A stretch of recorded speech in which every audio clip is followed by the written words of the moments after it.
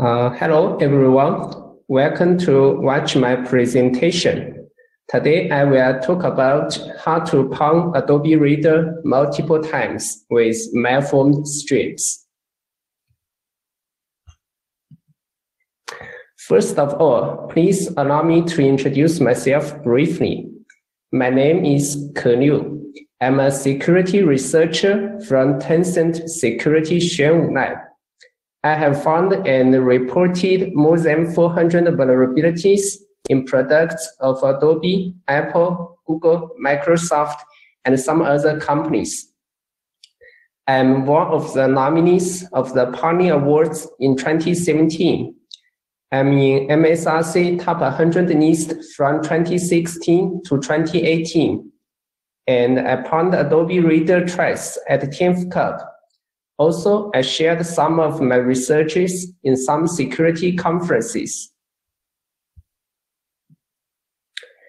This is the agenda of the presentation. I will talk about the topic from five parts, including basic concepts, Acrobat JavaScript, root cause analysis, case studies, and the lessons learned. First, let's talk about some basic concept. It is known to all that strings can be divided into two categories on Windows, the ANSI strings and the Unicode strings. For ANSI strings, each character is encoded as an 8-bit value. We can define a char type array in C language to store the string data. The string terminator is a one-byte null character. For Unicode strings, each character is encoded as a 16-bit value. We can define a vet char type array in C language to store the string data. The string terminator is a 2-byte null character. For Unicode strings, the characters can be encoded in two forms little endian and big endian. We can specify the byte order in the character set name. LE indicates the byte order is little endian, and BE indicates the byte order is big endian. The byte order will be platform specific if we did not specify it in the character set name explicitly. However, we can specify it by using the byte order mark character. The byte order mark is the UTF-16 character FEFF. The byte order of itself specifies the byte order of the data stream. It will always at the beginning of a data stream. There is a simple example to illustrate how the byte order mark works. There are two characters and the values of them are 4E, 2D, and 6587. In little endian format, the data stream will be FF, FE, 2D, 4E, 87, 65. And in big endian format, the data stream will be FEFF, 4E, 2D, 65, 87. Now we will talk about the string handling functions. The first one is the traditional version. I think you all are very familiar with these functions, and it is known to all that these functions are vulnerable to buffer overflow attacks. There is another version of string handling functions, which are also vulnerable to buffer overflow attacks. Some people may think that this is a security enhanced version of the traditional functions, but it is not. For example, Function string ncopy was not designed to be a safer version of function string copy. If the length of the source string is equal or greater than the number of characters to be processed, no null character will be appended at the end of the destination string. These functions are the security enhanced ones. They are implemented by Microsoft and might, on, might be only available on Windows. The invalid parameter handler will be called if the operation failed. As we can see in the box, these functions have more parameters. The second parameter specifies the size of the destination buffer. It will be used to make sure that the destination buffer will not be overflowed. However, the security enhanced string handling functions are not guaranteed to be secure if they are used incorrectly. In the following example, we are trying to copy data from the source stream to the destination string. We passed 0x7fff to the second parameter, which is much greater than the actual buffer size. Usage like this will need to buffer overflow. The security enhanced function will just act like the traditional string copy function. Now let's talk about JavaScript in Adobe Acrobat Reader. There is a file named isscript.api in the plugin folder of Adobe Acrobat Reader DC. It's the JavaScript engine, which was developed based on SpiderMonkey version 24.2. You can download the source code of this version of SpiderMonkey from Mozilla's FTP server.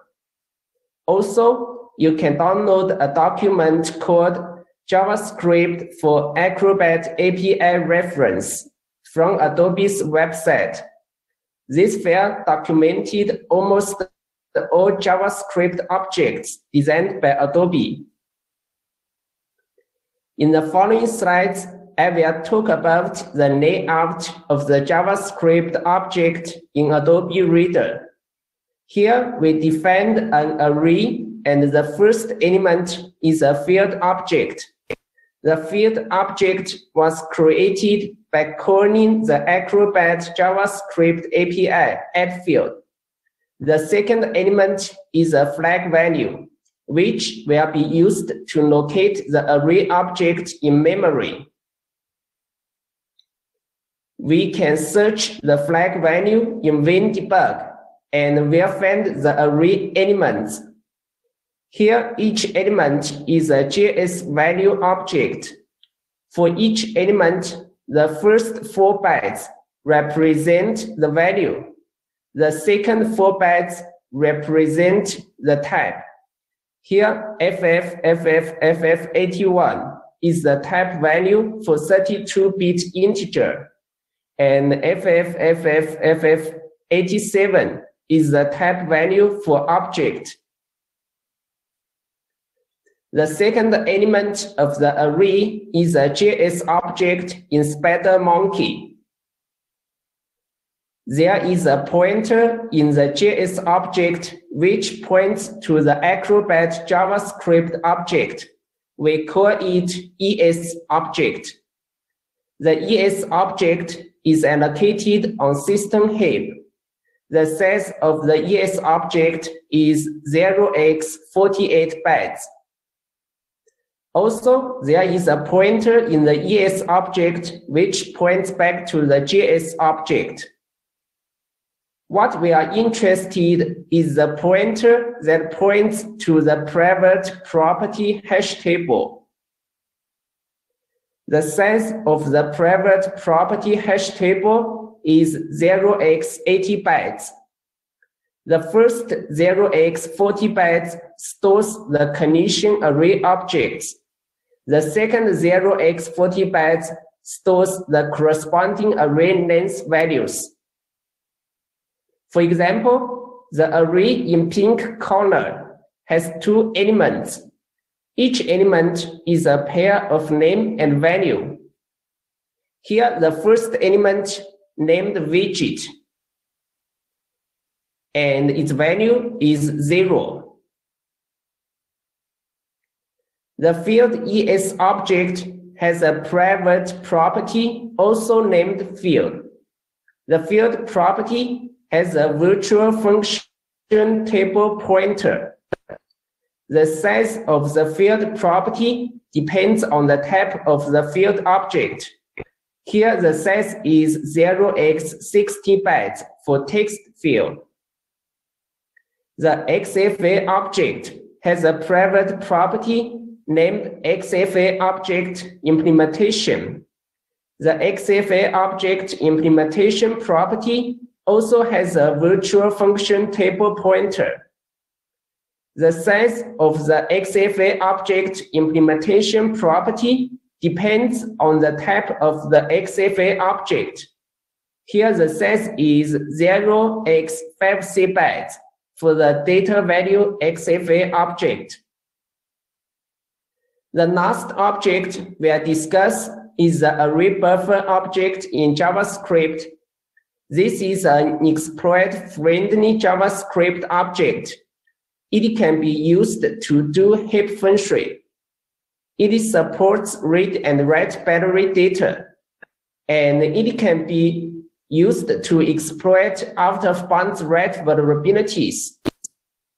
Here we define an array buffer object the bytecode store will be allocated on system heap if the byte length is greater than 0x68. In this case, the byte length is 0x70, and the backing store was allocated on system heap. If we can overwrite the byte length value to 8f, then we can turn it into an arbitrary address read and write primitive and achieve code execution. Before diving into the details of the vulnerabilities, let's talk about the root causes of them. Adobe Reader implemented some security enhanced string handling functions. We can search the string underscore safe to locate the functions in IDA. This table shows the details of these functions. There are two versions of functions, one to handle ANSI strings, the other to handle Unicode strings. And there are also some generic functions which will check the strings type and redirect the request to the corresponding function. Here, we take string and length safe as an example to illustrate how the generic functions work. The function checks the string's type according to the first two bytes of the string. The string will be recognized as a Unicode string if the first byte is FE and the second byte is FF. Otherwise, it will be recognized as an ASCII string. Actually, FEFF are the bytes of the byte order mark in big endian format. The request will be redirected to the functions according to the string's type. So what's the problems here? There are two flaws the first one is that the functions are used incorrectly. As we can see here, the value of the second parameter was set to 0x7FFFFFF in most cases. As discussed earlier, this will lead to security problems the second flaw is that checking string types according to the batch order mark is insufficient. A type confusion can be triggered easily when checking the string types. Here we have a string and the first two bytes are FE and FF.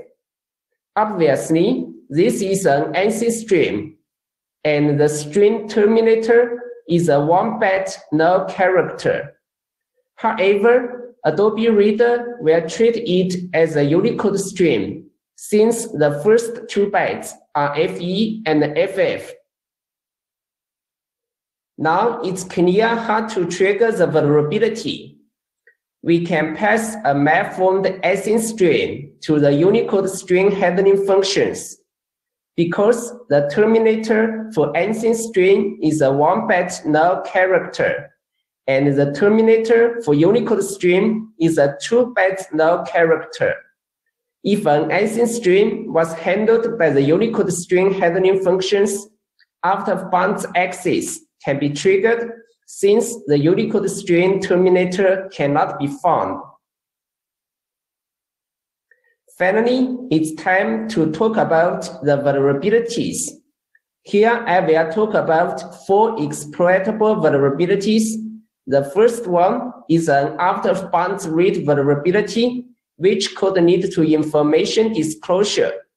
The second one is an out-of-bounds read and write vulnerability, which could lead to code execution. The third one is also an out-of-bounds read vulnerability, and the code need to information disclosure. The last one is a use after free vulnerability and the code need to code execution. The first vulnerability is CVE 2019 7032. The proof of concept code is very simple. Just two lines of JavaScript code can trigger the vulnerability. First, we call the add field method of the document object to create a field object. Then we assign string FEFF to the username property of the field object. Adobe Reader will crash when opening a PDF file that contains those two lines of JavaScript code. The process crashed when handling the property string FEFF in the Unicode string handling function string length safe. As we can see here, there is only one null byte at the end of the heap buffer. The process crashed because the Unicode string terminator cannot be found except the previously mentioned proof of concept code that can trigger the vulnerability, I found that there were 18 possible combinations to trigger the vulnerability. The underlying root causes of them are the same. As the table shows, we can use other types of field objects and other properties to trigger the vulnerability. The root cause of this vulnerability is also very simple. Let's review the code line by line. Here, we can fully control the content of the source string, and we set it to FEFF. Please note that it's an ANSI string. Handling it with function string and length safe will need to of bounds read because the string will be handled by the Unicode string handling function. The length value returned will be longer than expected. Then a heap buffer will be created according to the calculated length value. And the memory copy function will be called to copy data from the source stream to the destination stream, which will lead to information disclosure. We can read the leaked data via the username property of the field object in JavaScript code. The way to exploit the vulnerability is very straightforward. We can put an object with a virtual function table pointer behind the source string. Then we can read the pointer by triggering the vulnerability. The pointer will be used to calculate the base address of the module. Here are the exploiting steps. First, we will spray lots of objects which have a virtual function table pointer. Then we free half of the spread objects to make some memory holes. Finally, we try to trigger the vulnerability to nick the virtual function table pointer of one of the spread objects. Some exploiting tricks. As discussed earlier, field and XFA objects have virtual function table pointer. Here I choose the XFA objects because I have another XFA use after free vulnerability so that I can use them together to achieve code execution. Unfortunately, the add field method of the document object will not be allowed to be called in XFA mode. A not allowed error exception will be thrown if it was being called. Here comes another trick. Although we cannot create a field object dynamically, we can define one statically. This piece of PDF code defines a text field object named myField1. We can manipulate the field object in the callback function of an initialize event. First, we can access the document object through the target property of the event object. Then we can access the field object by calling the get field method of the document object. Now we can trigger the vulnerability and leak some information. The patch for this vulnerability is also very simple. Adobe put three extra null bytes at the end of the source string. Now there are four null bytes in total, and it will stop the out of bounds read behavior in the Unicode string handling function string and length safe. Although not perfect, it works as expected. Now we are talk about the second vulnerability, CVE 2019-8199. It's an out-of-bounds read and write vulnerability and code need to code execution it's exploitable in Adobe Acrobat Reader DC 2019 299 and earlier versions. We can use just one line of JavaScript code to trigger the vulnerability. We can call the unregistered review method or call the unregistered approval method of the collab object and pass a malformed ANSI string to trigger the vulnerability. The process crashed when handling the parameter string FEFF in the Unicode string handling function string copy safe. As we can see here, there is only one null byte at the end of the heap buffer the process crashed because the Unicode string terminator cannot be found. The root cause of the vulnerability was the same as the previous one, handling malformed ANSI strings with the Unicode string handling functions. Let's review the code line by line. First, we can fully control the content of the source string it was handled with the ANSI string handling function. Then a heap buffer was allocated according to the calculated length value. So far, so good. However, the string copy operation was performed by calling the generic function string copy safe, which would trigger the vulnerability.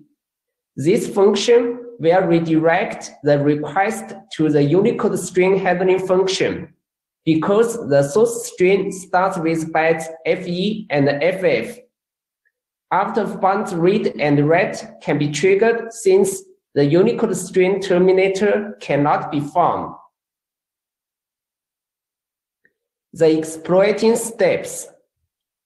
First, we spray lots of strings and array buffer objects to occupy the memory.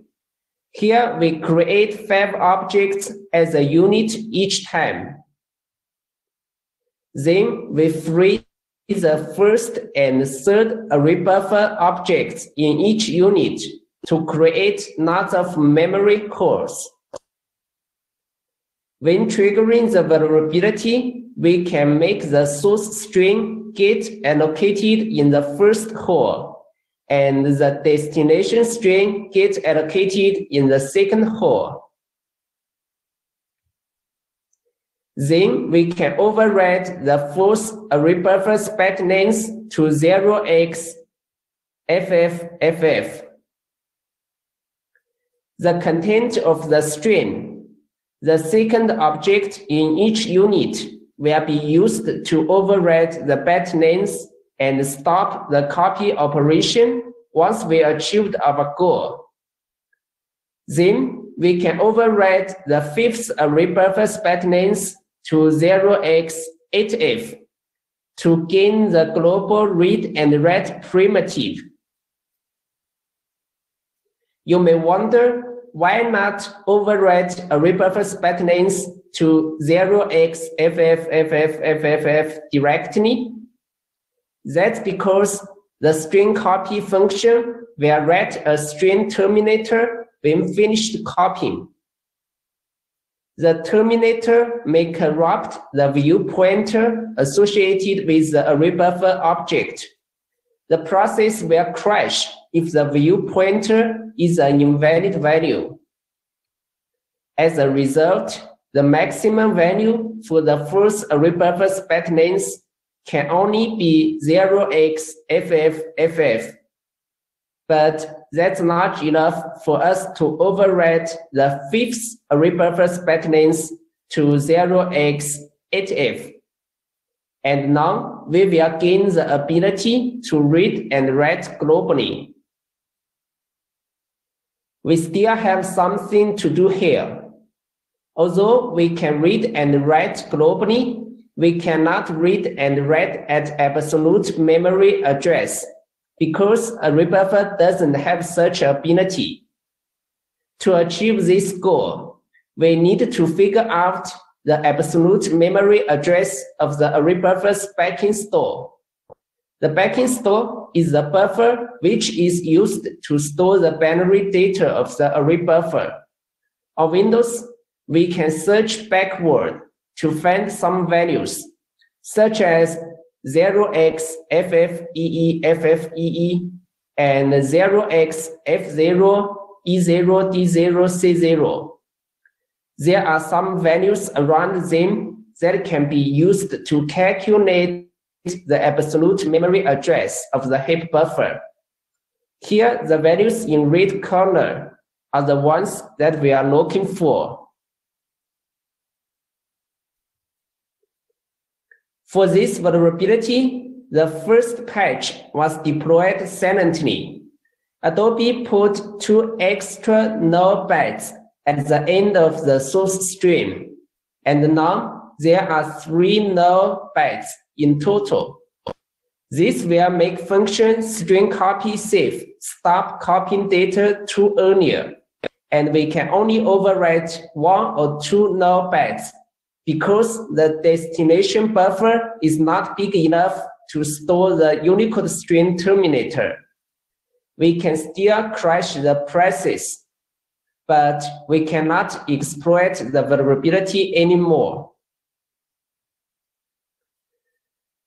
The vulnerability was finally fixed by another patch. When calculating the length of the source stream, Adobe used the generic function string and safe instead of using the ANSYS string handling function and allocated two extra bytes of memory to store the string terminator. Now the destination buffer is big enough to store the string data, including the string terminator. The third vulnerability is CVE 2020-3804. It's an out-of-bounds read vulnerability which could lead to information disclosure. To trigger the vulnerability, we will define a getter function for the type property of the event object. A malformed ANSYS stream will be returned by the getter function. Then we will trigger a JavaScript exception to be thrown from an Acrobat JavaScript API. This can be done in a lot of ways. Here, we passed another malformed stream to the print9 method of the console object. As, as discussed earlier, the batch order mark, FEFF, can only be put at the beginning of a data stream. In this case, it's put in the middle of the stream and will be rejected and a JavaScript exception will be thrown. The vulnerability will be triggered when constructing the JavaScript exception object. The process crashed when handling the malformed ANSYS string in the Unicode string handling function string length safe. This vulnerability is a little different from the previous ones. Here, the heap buffer size is 0x40 bytes. The first half part of the heap buffer was some ANSYS strings. The second half part of the heap buffer was uninitialized. The process crashed because the content was processed by the Unicode string handling function and the Unicode string terminator cannot be found. The event object will be accessed when constructing the arrow object. Let's review the code line by line. First, we will define a string object to store the generated content. We will check if the type property of the event object is defined or not. Since we defined a getter function for it, the malformed ANSYS string will be copied to the file name string object. Then we will check if the target name property of the event object is defined or not, and will append it to the string object if it's defined. The name property of the event object will also be processed in the same way. Now, the content of the file name string will be copied to the file name property of the arrow object, which will trigger the vulnerability.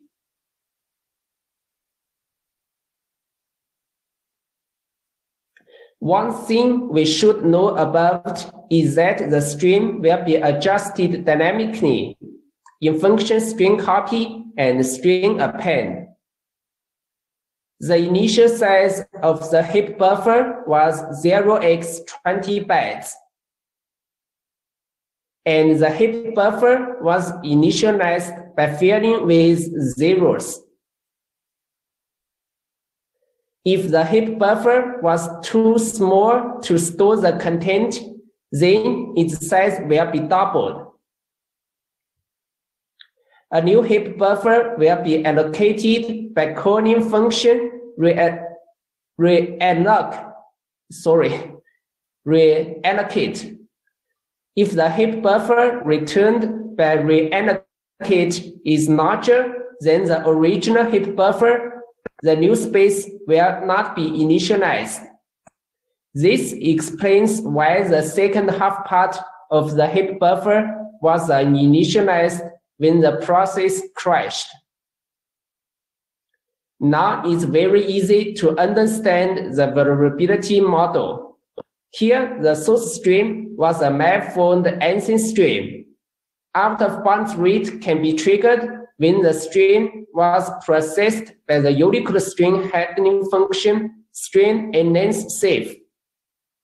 Information disclosure can be triggered when calling the swap function. The leaked information can be accessed via the file name property of the arrow object in JavaScript code. The way to exploit the vulnerability looks pretty much the same as CVE 2019-7032.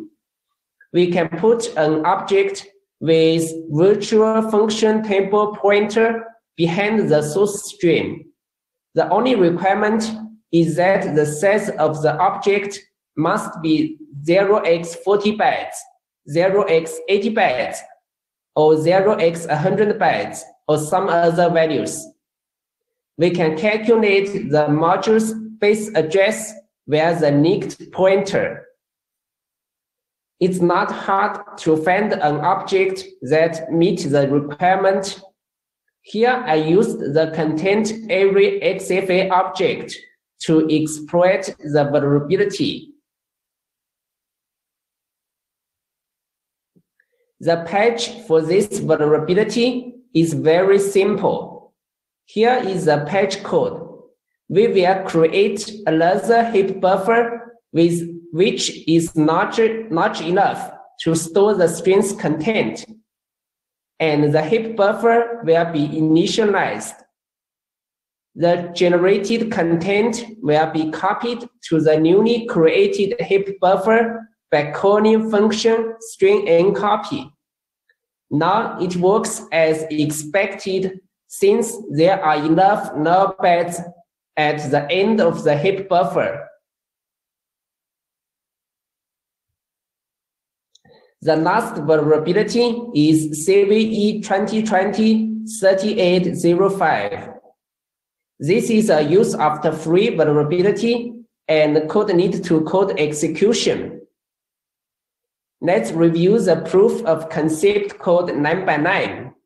First, we define a malformed ANSI string, which will be used as the name of the field object.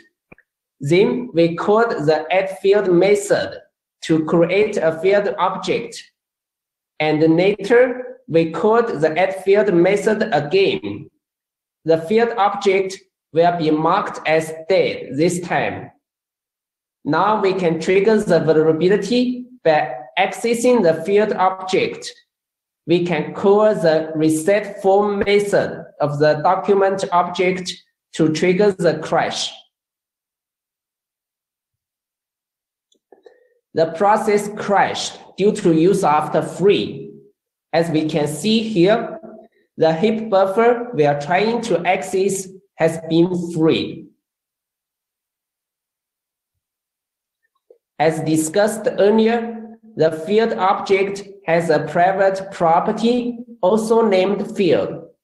The private property field will be freed when a field object was marked as dead.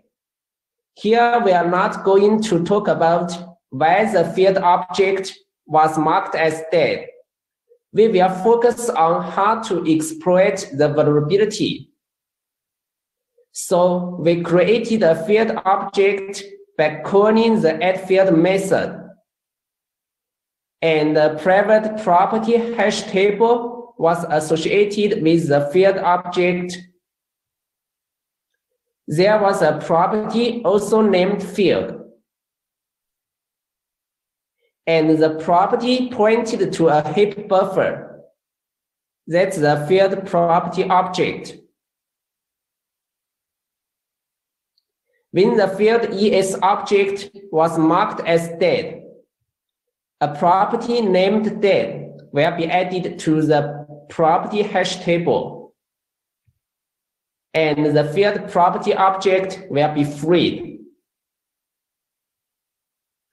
It's not difficult to control the EIP register by exploiting this vulnerability, but that's not what we are interested here, a generic method for exploiting such kind of use after free vulnerabilities about field objects will be discussed in detail. The method was first disclosed by PTDY from Star Labs. He shared his method in the exploit code for CVE 2019-8039.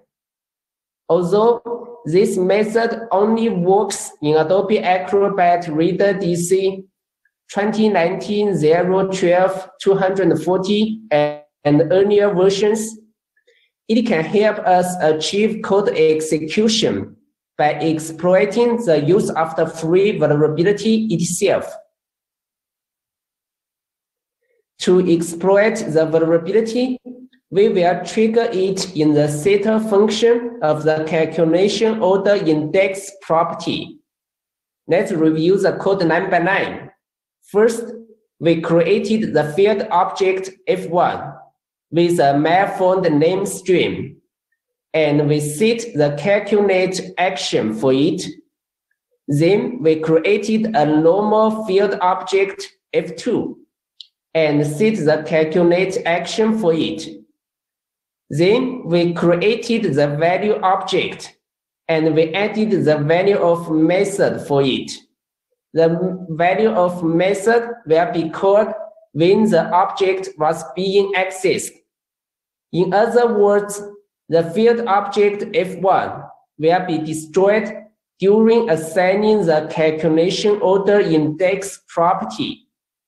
That's very classic use of the free trick.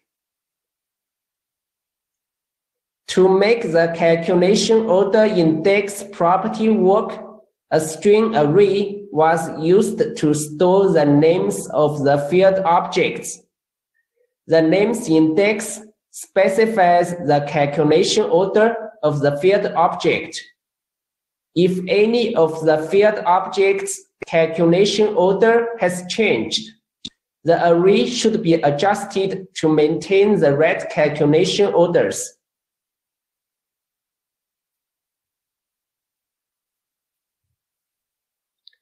Now let's figure out what happened in the setter function of the calculation order index property. First, we can get a pointer that points to the array by accessing the field property object. We can also get the name of the current field object. We can get the current calculation order of the field object by searching the name in the array. Then we try to get the primitive value of the assigned JavaScript object. During this process, the value of method of the JavaScript object will be called, and the field property object will be freed. If the calculation order has changed, the sorry, the array should also be rearranged accordingly. So what can we do in this function? First, we will get the name stream pointer from the field object. Then we will calculate the length of the stream, create a heap buffer, and copy the name string to it. The original name string was a CE string object. The code on the left side shows its structure. As we can see here, it has a member which was used to store the length value. In other words, we can construct a CE string object and make the length value smaller than the actual string length we can trigger after funds write when calling the string copy save function since the destination heap buffer is too small to store the content of the source stream. The exploiting steps. We can control the content of the field object when triggering the vulnerability such that the content of the heap buffer can be fully controlled. And we can construct a fixed C string object. In the fixed C string object, the actual string length is greater than the value of the length member. As a result, we can trigger of bounds write when calling the string copy function. We can put an array buffer object behind the destination stream and override the byte length to 0x8f. Then we will get a global read and write primitive. Since we did not analyze the root cause of the vulnerability, we will not talk about how the vulnerability was patched. However, we will talk about how the exploit method was mitigated. In newer versions of Adobe Reader, a flag named lock field property was added to prevent the field object to be destroyed in properties setter functions. If the flag value was set to 1, the field object cannot be destroyed. The following code shows how it works. The flag value was set to 1 when entering the setter function, and the flag value will be cleared when leaving the setter function. Now let's talk about the lessons we have learned. On one hand, the flaws should be eliminated as earlier as possible. It would be best if we could eliminate them at design phase. If not, we should consider refactor the legacy code when it's necessary. For example, we can distinguish ANSI strings and Unicode strings more carefully. Or we can always use Unicode strings and convert the Unicode strings to ANSI strings only when it is necessary. Compared with adding no bytes, it's not an easy job to refactor the legacy code. On the other hand, it's necessary to do some secure development trainings for the developers. We should use the functions correctly and should never use 0x7 with 7f for parameter maximum bytes. Okay, that's all of my presentation. Thank you all for listening. And now it's QA time. Please feel free to ask any questions about this talk. You can also contact me on Twitter if you have any other questions later. Thank you. Thank you, Kay. Um, unfortunately, it seems that you, your topic was entirely clear to people because we do not have any questions at this time. Okay. um, so um, I think the only thing that remains then is for me to say thank you very much again for this great explanation of the topic.